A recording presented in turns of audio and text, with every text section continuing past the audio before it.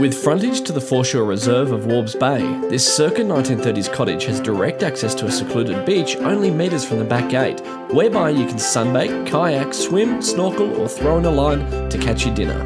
Enjoy the fabulous bay views from the deck and the abundant wildlife inclusive of penguins, birds, dolphins, and whales.